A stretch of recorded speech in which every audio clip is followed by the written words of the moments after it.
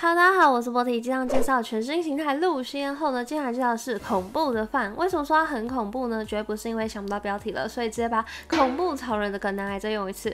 我跟大家说，我这个证真的是能够很稳定的上分，至少用的时候是这样。只要你严格遵守纪律，就跟做股票一样，把我今天跟你分享的制胜方法牢牢记得，基本上就有前四啦。有来看我 FB 直播的人呢，应该早就知道有这个阵了。我从随便乱测试到现在台服的大。大市场也玩了五六场左右了吧，大概两个星期前呢，就有在 FB 的直播时断断续续的玩过。虽然当时就有吃鸡没错啦，不过我觉得那几场的呃场次强度不够高，就没有拿来做影片使用。一直直到我现在在这个大师场，想说比较有参考价值一点了，才跟大家做一个小小的分享。此次影片会抽出三百五十点贝壳币，十月三十一号前有加入 YouTube 会员满两个月，还可以再抽价值近三万元。的 LG Phone 五电竞手机一台，目前符合条件的会员也仅有四十位而已，中奖几率可以说是非常的高。而且加入 YouTube 会员也可以第一手接收到战旗的攻略，像我这支影片呢，就提前分享给会员们知道，并且你还获得专属的勋章和限定贴图。至于不想参加抽奖的人，也可以订阅一下我的写真，或是加入我们的 FB 社团波提游戏讨论区，有很多的高手都会在里面分享阵容啊和打法心得，我有空也会亲自回复或是。看过的，并且应观众的要求呢，这次还免费开放了 Discord 群给大家同乐哦。首先，让我们来看一下这次的组成哦。我总共会分享三个主要的配置给大家参考。第一种就是赌雷欧娜和范阵容的组成英雄有瑞尔、雷欧娜、人马、瑟雷西、维尔哥和法洛士以及范。羁绊是四陨落、三圣光、二骑士、二重骑、二游侠，主要就是利用我们的范担任主 C，然后让我们的超级坦克雷欧娜刚在前面，其他人都当做挂件。为什么是赌范和雷欧娜呢？主要就是他们两个都是一费卡，所以如果可以的话，你就一起赌，因为刷到他们。两个的几率都是一样高的嘛，而且雷欧娜这张单卡真的很给力，能够让你爽爽的度过前中期。法洛士呢，如果来的够多，也可以顺便抓，甚至是你赌不到范三星的时候，你也可以直接就是哎转转转转转转去赌法洛士，其实也是一个好选择哦。赌法洛士这个阵呢，我们之前就有介绍过了，这套玩法现在也是深受很多美服入服的精英玩家们的喜爱。你们之前有看过影片的人，也都算是。走的比他们前面一点点了。第二种配置是赌人马和饭，聪明的你应该有发现了，就是我在做这个阵容配置的时候呢，首先考量的就是谁能坦在最前面，所以人马战就是首选之一，毕竟它本身就是陨落体系的角色嘛，所以你就会有更多的一个配阵选择，可以把法洛士啊改挂成艾希，并且在物理阵多的时候呢挂上三铁甲。第三种就是赌猪女和饭，是的，想不到吧？连猪女都可以硬塞进来，虽然说猪女啊是有被砍过没有错，但是她毒到三星还是超级坦的。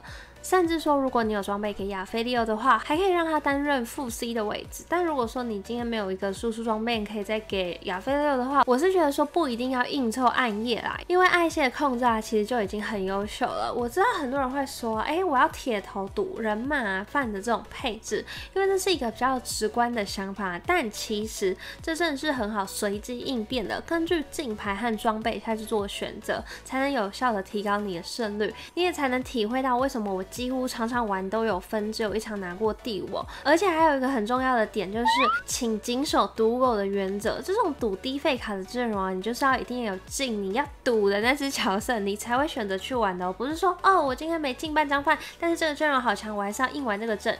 基本上我会建议三至一前有进到四张的饭再去玩是会比较好的。而且你要随时注意，就是有没有同行。我自己在玩的时候是完全没有遇过任何的同行，但是发片之后你们就要。自己留意一下，这样出装推荐上饭，你可以去拿鬼锁啊、分裂剑、法爆、死爆等等的攻击装备，优先推荐就是鬼锁、分裂剑和分裂剑。通常啊，我会先合出鬼锁这件装，比较好在前期保好血量或是拿下连胜。第二件装我就会去出分裂剑，第三件装则是看三只六掉什么样的光明装备，鬼锁啊、飓风剑啊、死帽啊、法爆啊、巨人杀手、正义之手，我觉得都是能用的，因为饭的。贝兜之前是有吃魔攻系数的，所以它可以拿的装真的很广，就算都没有掉任何的攻击装也没有关系，你可以改拿前排的坦装。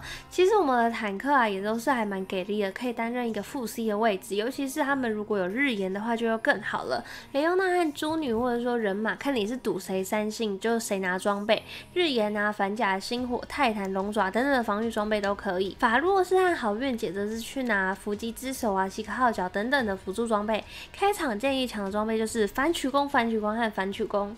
这一场呢，我在三之一的时候就开始了我的赌宝之旅，主要就是因为我是选择玩范加上雷欧娜的两张都是一费卡的状况下呢，在四等刷的话是比较容易来到三星的，所以我会建议你说，呃，可能如果你是玩这样我这样子一个配置的话，你在三之一的时候四等你就可以卡着，然后去刷牌，看能不能赶快将你的范还有一个雷欧娜都刷到三星，可以更早的迎来你的 p o s e Spice。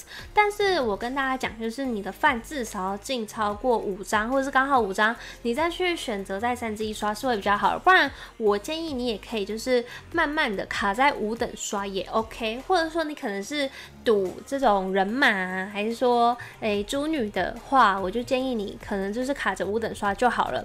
然后，如果你的雷欧娜进的不多，你可以就是雷欧娜当做一个过渡角，并不用一直去把它用在，就是一直用到后面。好，这边的话，我们遇到的是我们比较怕的一个阵，就是伽罗。伽罗是蛮克制犯的，因为你看他就一直被绑，一直被绑，而且这个人呢，他的伽罗是有身上二星的，所以这边我们真的是蛮怕他的。但是因为我们有雷欧娜，而且他是有日炎的一个状态，所以其实日炎呢，就是在前期你可以更好的去保住你的血量跟连胜。好，这个人他的厄萨斯虽然诶只有一星，但是他是有龙爪的。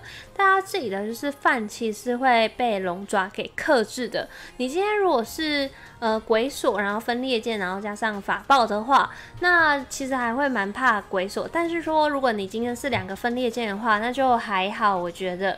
大家可以去看一下，就是我现在做的一个配置。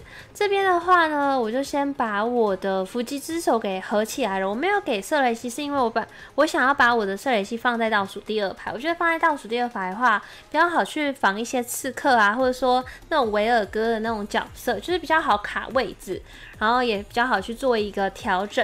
所以这边我就去。呃，把我的伏击之手给我的法洛士，这里我很犹豫，因为我就想说，呃，我是要和两个鬼锁呢，还是要和两个分裂剑？然后我也稍微看了一下大家的配置，四之二的时候就有人已经，他好像四之一还是四之二吧，然后他的那个微扣之就已经升到了二星，而且他是满钱的一个状态。就代表说他漂了很多的微扣资，而且他在有非常多家同行的一个状态下，竟然还有办法漂那么多只角色，其实真的是一个非常厉害的一个玩家哦。啊，他的钱超满，然后装备超糊。微扣资呢，我觉得比较好的就是他有一个光明的科技枪，因为真的吸的超满的。这边我们遇到一个有反甲的这个，就是。丧尸，但是呢，一样就是被我们的饭切爽爽的。我们这里其实我就是在刷牌，想说我的瑟雷西赶快让他升上呃二星，但没想到我刷了这么久，瑟雷西都还不来。然后呢，有人在四之一的时候就拿到了汉默丁格，呃，这也没办法说什么，这是真的运气嘛。现在游戏真的是挺吃运气的，虽然说哦，你可能觉得啊，明明就对面那么多同行，这么多丧尸，为什么有些人就是可以那么糊？没办法，就是运气游戏。在后期的话，你现在可能比较高的分段，大家都是很倾向用丧尸，因为丧尸真的很好狗分啦。但这一场我比较害怕，也是就是丧尸，为什么呢？因为我觉得丧尸的话，我可能他血量蛮多的，他一直扛在前面，然后如果又有一个龙爪的话，我蛮难去对付他的，所以我也是打的心嘎嘎。这边我就是看了一下大家摆位，我在躲那个微扣子，因为我觉得我被微扣子扫到的话，我基本上必死无疑。他在这个阶段是一个非常强烈，主要是因为他二星，如果他一星那就算了，但他今天是一个二星的一个状态的话，我们就要尊重他，非常强势哦。好，所以这边我就一直在躲，因为有两家微扣资嘛，所以我就在看说，哦，他们到底摆哪里？结果这微扣资也在看我，可能是因为我火在烧的关系，所以大家现在呢就一直在关注我到底摆在哪里，所以他们的摆位也都是非常细腻。好，这里的话我们遇上了奈德利。好，奈德利的话呢，呃，虽然他有闪避哦，不过我觉得。范他打的真伤的那个伤害真的是太高了。这里呢，我还是继续就是在六等，慢慢的在刷牌。主要就是我也会蛮希望我的瑟雷西可以升到三星，或者是说人马也可以一起三星这样子。但是这里呢，我刷到了法若是三星，其实我已经算是心满意足，因为我真的已经花了很多钱，想说要来刷这个瑟雷机三星，因为瑟雷西三星它那个勾还有那个控制真的是蛮给力的。好，这里的话呢，我为了躲这个微扣之的一个大绝，所以我还是决定哎舍弃吃那个伏击之手，然后换到了右边过来，呃，也很明显，很成功的骗到了他。我们这边哦，饭切切切切切，他的前排就瞬间融化了，然后他想要扫射也没有办法扫过来，非常的 nice。虽然说他很快就升上二星，他应该四之一的时候，哎，四之一可以刷到一只微扣之，就该万幸了吧？结果他三之二的时候，他就白嫖到微扣之，然后在四之一的时候还可以。四之一好，不知道四之一还是四之二，然后就可以爽爽的升上二星了。在有这么同多同行的一个状况下，好，这里的话我就决定补上我们圣光。如果说你这个环境中，就是在这个阶段你有瑞尔的话，其实基本上这个拉克斯是要换瑞尔，但是我已经不太想再去刷牌了。主要就是我觉得我应该要去升到，呃，在。多一个的提升，就是应该是有办法去升到九等。毕竟我现在的血量跟我现在是连胜，所以我会希望就是尽量把我的整个状态都拉好拉满。好，这边的话我换了一下位置，主要是我在躲，就是看有没有人有熊啊，还有就是一些微扣之。这个人在五 G 的时候他就二星了，汉莫丁格，这基本上就是打不赢，而且他的上司还有龙爪，还有星火。光明的星火非常恶心，哎，但是没有想到的是，我们竟然有办法这样射爆它。我觉得主要就是分裂键真的是太痛了，然后它的炮台呢一下就被我们给清光了。这里的话呢，我快速也是换了一下位置，就是想要去做一下调整。我刚刚那个五之一有办法去打赢汉莫丁格，我说真的是完全没有办法想到的一个状态，你。应该想的是，哎，五之一能够拿到一只汉莫丁格就已经很爽了。然后他都已经二星了，我们还能够暴打他一顿，就他都已经可以算是八五至尊的一个成型体。毕竟他的埃尔文也是身上二星的一个状态，他整体的质量呢是非常高的。然后这个人亮我们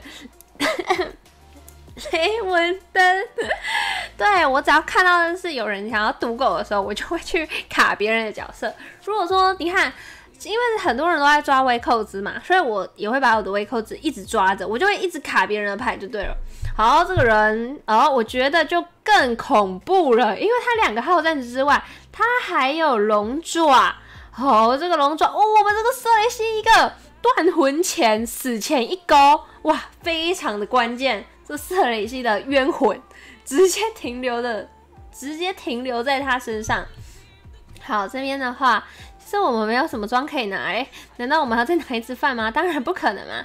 那因为就很多就是丧尸，然后刚刚又有遇到一个两个好战的这个瑞尔，所以呢，我就决定好，不然我们就拿巨人杀手给这个法洛斯补个伤害好了。那这里的话，我终于想起哦，原来我的射雷器还有一个甲子在身上啊！哦，这边我看到了，竟然有人。五费卡二星这边呢，我没有来得及，就是换到位置，因为我本来想说，应应该也没有可能再对到这个微扣之了吧，就没想到一个被他屌射，我这边哎，他射的第一下我们没有死哦哦，不过我们这边法洛斯真的是非常的 给力，竟然是打赢了呀！这也是蛮惊叹的。这个聊天室呢刷疯了，不过因为我没有截取到聊天室的画面，所以大家只要自己想象。哦，现在聊天室一直在刷七。好，这边的话呢，我觉得也稍微再移一下我整体的摆位。之所以我会把我的雷欧娜往右摆呢，是因为我看到有人的熊它是摆在左侧的，所以我就往右摆，这样子熊就会往右边去跳，不会跳到我的饭。这里的话呢，遇到了一个 也是五费卡很早就二星的，他很早就艾可上二星，而且他有两个伏击之手在外加，他的露西恩跟他的艾可上都是有装备的，然后又被他对到位置，主要就是被他对到这个位置啊，所以我被露西恩射满脸，这边被断了一个连胜，算是蛮可惜，而且我这边也是有点怕怕的，因为这一场有尼克帮的关系。很多人的五费卡都升上二星了，我觉得是蛮可怕的啊！大家都是那种五趴的天选之人啊，就是在八等的时候就可以刷到两只的五费卡。好，这个是我觉得蛮难做到的，但这边的话也没有办法。好，我们就是要专注的去摆我们的位置。既然大家都这么糊了，好，就是顶尖对决的时刻了。其实我们在。放在后期的时候是比较难打的，就是会比较麻烦一点，因为毕竟就很多控制嘛，很多熊啊那一些的。但没关系，因为我们有射雷系，所以其实也是很好去控制别人的。这边我就是看到他的。呃，熊是摆在左侧，哎，是摆在偏右侧一点点的，所以我就换过来左侧了。还有它的汉莫丁格呢，它是摆在右侧的，所以我就决定把我的射雷机，基本上我的射雷机都是往中间摆啊。然后可以看到，哦，我们的饭突然一个快速清场，这是我们双分裂剑的威力。而且可以注意到的是，我现在都还没有到大刷特刷，就是我们的牌。这里六只二的话呢，我是算算准了它的这个，就是可以去做一个提升，所以我这边就升等了。好，我决定把我的法洛斯放在中间。其实我觉得放在中间蛮好的。我放在通常我会把法洛斯放在旁边，就是放在侧边，只是怕射雷系够而已。不过有伏击之手的话，基本上大家可以放在最边边没有关系。这里的话，因为我们有伏击之手，所以挡掉了汉姆丁格的第一次大绝。然后可以看到，哦，他是有两个精进之矛，不过他完全开不出大绝，而且他的炮台一直被我们清场。大家可以看到，就是。这个分裂键啊，就是一直弹，一直弹，一直刷，一直刷，他是完全没有在管他的前排，可以直接刷到后面，把他的后排全部清光光。好，这个人呢被送下去了，我非常的开心，因为那路线我觉得还蛮麻烦的。路线的话，就是一定不能跟他站到对角线，不然你就会很难去打赢他。那或者是说你可能就摆中间，可是摆中间的话有可能被微扣之射嘛，所以其实你还是要选边站的。那这边还好，哦，我们就剩一家而已，所以我们只要对一家的位置，不用到对到两家。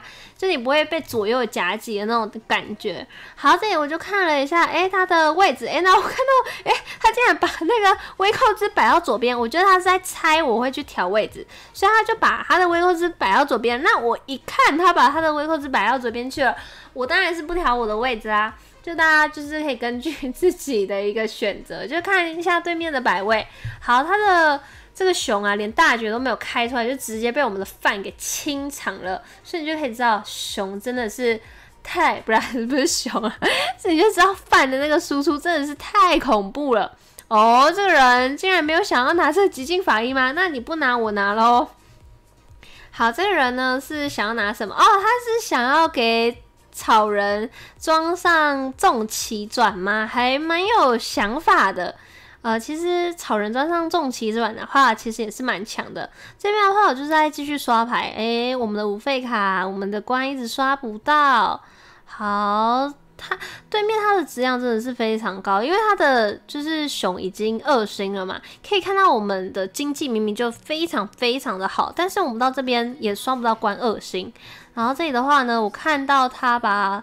就是他的这个微扣只是摆过去了，那我当然就赶紧把 我的饭摆到右边来啦。还有就是大家可以看到，就是我也有在调整，就是我的前排的一个摆位。他刚刚的熊呢摆在右边一点，应该说其实大家都是摆在中间啦。那你就可以把你的就是雷欧娜。摆在跟你的饭的位置不一样，它就会去跳另外一边了。就是这是一个小细节，大家可以去参考一下。好，这边的话呢，就一样去看它的一个位置。其实剩下到最后的决胜圈都是在看摆位。我觉得范其实还蛮怕这种微扣之这种角色，但如果你是有双分裂剑，就跟我一样的话，前前排真的太好清场了。基本上前排他们完全放不出招，然后就被你清光光了。这边就蛮可怕的，我一直在看他的位置，然后这里按着 Q，然后诶，他竟然没有动，他没有动，敌不动我们就不动。他有两只熊熊都想要来跳我们的饭，他的熊开得出大绝吗？哦，感觉是有机会的。这个熊，哎，没有跳到大，完全没有跳到，然后就被我们的饭给打死了。这个饭的伤害真的是太高，太恶心啊！然后你后面就补个两秘术，他就完全射不死你了。主要就是我们的雷欧娜只吃了一个装备，他就一直稳稳的躺在前面，真的是超强的饭和雷欧娜组合，大家可以去拿来赶紧上分。最后帮大家统整一下，就是赌一费卡有两种玩法，一个是在四等的时候刷干，一个是在五等的时候，你慢慢卡着五十块，然后慢慢的去刷到三星。那我这一场玩的就是在三之一的时候，四等就直接把它刷干，然后看我的一费卡能不能达到三星。这算是一个比较刺激的一个玩法，因为如果你没有达到三星，或者是说差太多的话，基本上你这一场就没有了。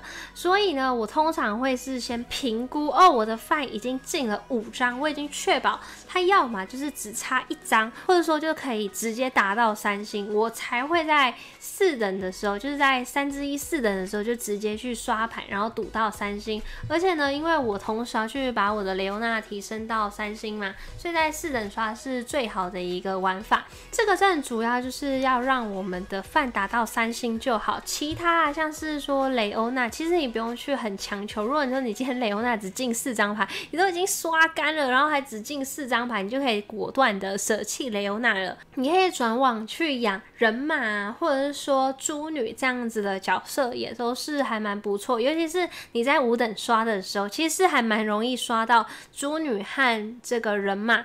升到三星的，为什么呢？因为现在真的超少人要这两只角色，比较有可能比较多人抓，可能就是猪女吧。因为有些人可能会去玩亚素，然后他可能或者是说亚菲利欧，那他可能就会去抓猪女。然后人马的话，基本上就是随便刷 随便有，其实很好达到三星啊。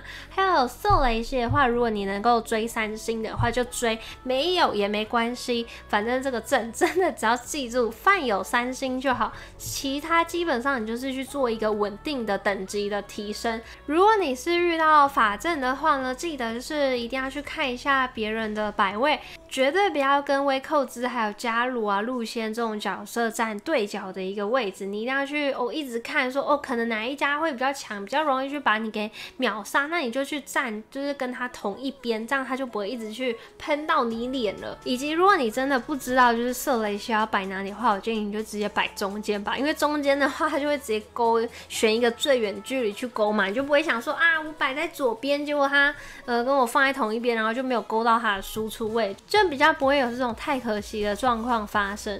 接着，如果说你可能后期遇到法阵啊，你就可以去补上秘术，或者说关这种可以去降伤害的一个角色。然后通常物理阵多的时候，你就补上铁甲，也是一个非常好的选择。当维尔哥来的时候，你就可以去把好运节给换掉了。除非说你的好运节有三星，那或许你还可以把它留下来，因为其实好运节的话，如果它可能有一些法强装的话，它还是一个还蛮稳定的一个副输出哦。大家完全就是可以根据你的进。牌啊，还有装备，以及你遇到的对手的阵容去做一个灵活的搭配。那今天影片就到这里喽，感谢大家耐心收看，谢谢你们喽，拜拜。